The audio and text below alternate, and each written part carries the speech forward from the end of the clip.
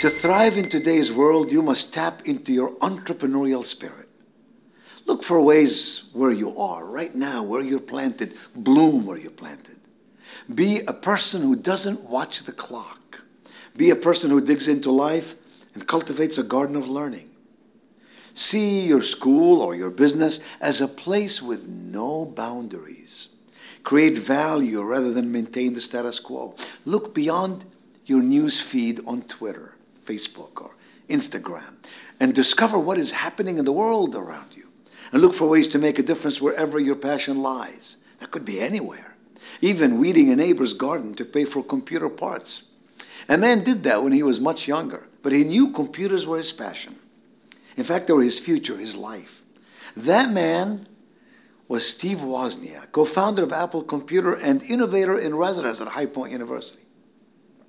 He said he had something inside of him that made him want to create change. Success doesn't come to you, you must go to it. But here's the good news the trail is well traveled.